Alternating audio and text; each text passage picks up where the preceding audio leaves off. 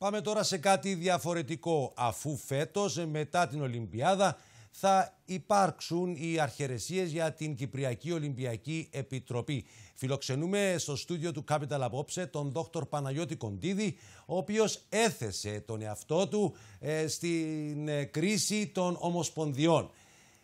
Γιατρέ Κοντίδη, καλησπέρα, καλώς ήρθατε στο Capital. Καλησπέρα Γιώργο, καλησπέρα και στους τηλεθεατές μας. Την περασμένη εβδομάδα θέσατε την υποψηφιότητα σας για την Προεδρία της Ολυμπιακής Επιτροπής.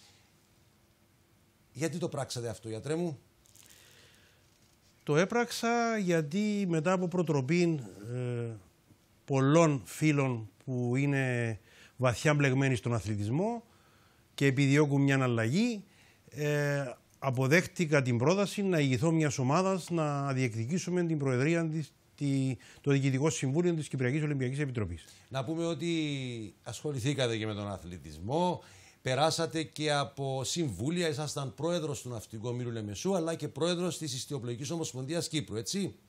Μάλιστα, και αντιπρόεδρος της Ευρωπαϊκής για έξι χρόνια. Άρα έχετε το background για να ηγηθείτε της Ολυμπιακής Επιτροπής. Τώρα είπατε ότι για να αλλάξουν κάποια πράγματα πρέπει να γίνουν κάποιες αλλαγές στο, στο Ολυμπιακή Επιτροπή και κατ' επέκταση, γιατρέ μου, στον αθλητισμό και τους αθλητές. Πιστεύω ότι η Ολυμπιακή Επιτροπή που αισίως κλείνει 50 χρόνια φέτος από την ίδρυσή της, η Κυπριακή Ολυμπιακή Επιτροπή, ε, έχει μείνει στάσιμη προσωπικά, διότι εξακολουθούν να υπάρχουν οι ίδιες ε, μεθοδολογίες, γίνονται τα ίδια πράγματα κάθε χρόνο που, έχουν, που γίνονταν πριν 50 χρόνια. Έχει την ευθύνη για την εκπροσώπηση της Κύπρου σε τέσσερις διεθνείς διοργανώσεις ουσιαστικά. Ολυμπιακούς, κοινοπολιτιακούς, μεσογειακούς και αγώνες μικρών κρατών Ευρώπης. Και θεωρώ ότι οι καιροί έχουν αλλάξει. 50 χρόνια σίγουρα έχουμε πάει πάρα πολύ μπροστά. Όχι μόνο η ηλεκτρονική επανάσταση, αλλά και πολλές άλλες. Και είναι καιρός να να προσπαθήσουμε να βελτιωθούμε κι εμείς. Έχετε φτιάξει ένα πρόγραμμα πώς θα μπορέσετε να βελτιώσετε ή να αλλάξετε κάποια κακοσέχοντα γιατρέ; Δεν θα ήθελα να εστιάσω στα κακοσέχοντα. Ε, θα προτιμούσα να εστιάσω στα, στα οράματα και στις ε, προσδοκίες που έχουμε εμείς. Αλλά ε, καταρχήν πρέπει να πω ότι πριν από τέσσερα, μέχρι και πριν από τέσσερα χρόνια για να πω όχι κακός έχω, κάτι το οποίο θεωρώ ότι ήταν απολύτω φυσιολογικό. Μέχρι και τα πρακτικά των συνεδριάσεων του Διοικητικού Συμβουλίου, του Εκτελεστικού Συμβουλίου της ΚΟΕ, αναγράφονταν αναρτώντας την ιστοσελίδα τους. Εδώ και τέσσερα χρόνια αυτό δεν συμβαίνει. Υπάρχει ένα κλίμα το οποίο δεν είναι το καλύτερο και ούτω καθεξής. Α μείνουμε εδώ. εδώ. Τι θέλουμε να κάνουμε; Πάμε στο όραμά σας. Καταρχήν, πιστεύω, πέρα από την εξυγχρονισμό της ε, Ολυμπιακής Επιτροπής, πιστεύω ότι είναι καιρός να ονειρευτούμε μεγαλύτερα πράγματα. Η Κύπρος μέχρι τώρα Ολυμπιακούς αγώνες σίγουρα δεν μπορούμε να ονειρευτούμε να διοργανώσουμε. Διοργανώνουμε μόνο αγώνες μικρών κρατών Ευρώπης. Οι μεσογειακοί και οι κοινοπολιτικοί αγώνες είναι αγώνες οι οποίοι έχουν σχεδόν το μέγεθος των Ολυμπιακών, αλλά θα μπορούσαν να διοργανωθούν και στην Κύπρο με τεράστια ωφέλη όχι μόνο οικονομικά και τουριστικά, αλλά και υποδομές και συνέργειες που θα γίνουν με άλλες ομοσπονδίες οι οποίες θα φέρουν τεχνογνωσία και μέσα στην Κύπρο που θα βοηθήσουν να ανεβάσουμε τον Κυπριακό αθλητισμό πιο ψηλά.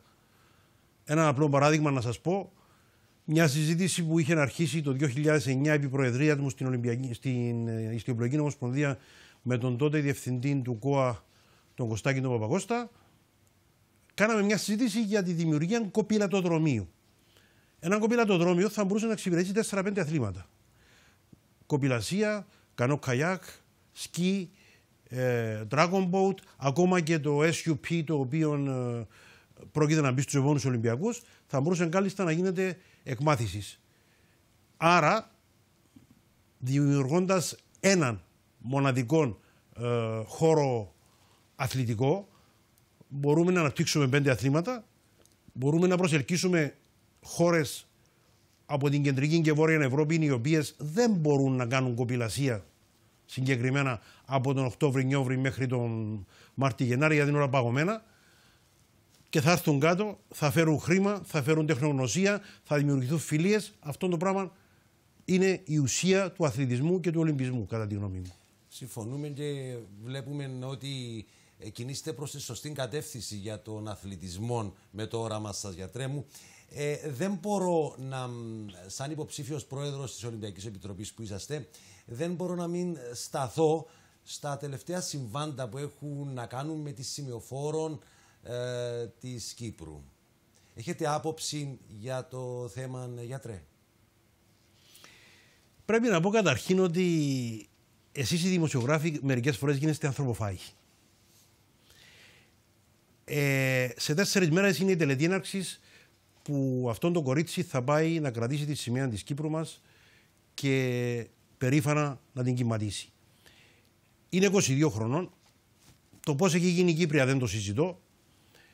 Το ότι είναι τεράστια αθλήτρια μέσα σε ένα χρόνο έχει ανεβάσει το Κυπριακό ρεκόρ στο 1,97. 1,97 σημαίνει ότι τελικό μπαίνει, μπα και συμβεί και τίποτα παράδοξο και τσιμπήσει και ένα μετάλλιο. Και ερχόμαστε παραμονές τέσσερις μέρες πριν την τελετή έναρξη να κάνουμε αυτή την ανθρωποφαγία, να κάνουμε αυτή την, να βγάλουμε στην επιφάνεια ένα γεγονός το οποίο ήταν γνωστό εξ όσων γνωρίζω, είχα και εγώ γνώση του γεγονότος πριν μερικούς μήνες. Γιατί τώρα; Το μόνο που θέλω και μπορώ να κακίσω είναι ότι το εκτελεστικό συμβούλιο της Ολυμπιακής Επιτροπής έπρεπε ίσως να κάνει μια πιο ενδελεχή έρευνα, μια πιο ενδελεχή συζήτηση γύρω από το ποιος θα είναι ο σημειοφόρος. Εφόσον όμως αποφασίστηκε ότι είναι η Κουλιτσέγκο, οφείλουμε όλοι να υποκληθούμε και να μην χτυπούμε την Κύπρο. Χτυπώντας την Κυπριακή Ολυμπιακή Ομάδα, χτυπώντας την κοπελίτσα αυτή, τις αφαιρούμε από τις δυνατότητες της να φέρει έναν καλό αποτέλεσμα και αυτό είναι λάθος. Είναι εκεί για να αντιπροσωπεύσει τον τόπο μας και πρέπει να τη χειροκροτήσουμε. Να μην πω ακόμα ότι αυτοί όλοι που κανιβαλίζουν σε αυτό το θέμα, εάν παρελπίδα, μακάρι να γίνει, όχι παρελπίδα, ε, φέρει κάποιον καλό αποτέλεσμα, θα είναι οι πρώτοι που θα πάνε στο αεροδρόμιο να χειροκροτήσουν και να υποδεχτούν την κοπελιά. Να σας πω ότι πολλοί εξ αυτών που έχω μιλήσει δεν, ε, δεν μιλούν για τις επιδόσεις στον αθλητικό τομέα. Σέβονται και είναι περήφανοι για το τι έχει κάνει η αθλήτρια αυτή και είναι και σίγουροι ότι θα περάσει στον τελικό. Για τις αθλητικές, επι, για τις αθλητικές της επιδόσεις κανείς δεν έχει αμφιβολία για τρέμου. Τώρα, κλείνοντας ένα μήνυμα από εσάς στις ομοσπονδίες, στους προέδρους των ομοσπονδιών ή τους αντιπροσώπους που θα κληθούν να ψηφίσουν. Το μήνυμα είναι πολύ απλό. Διαφάνεια, λογοδοσία, ομαδικότητα, συλλογικές αποφάσεις, επαγγελματισμός, προγραμματισμός. Θεωρώ ότι αυτά σε μικρό ή μεγάλο βαθμό λείπουν από την νυν Ολυμπιακή Επιτροπή και είναι ακρογωνιαίοι λύθη για να μπορέσουμε να πάρουμε τον αθλητισμό μπροστά.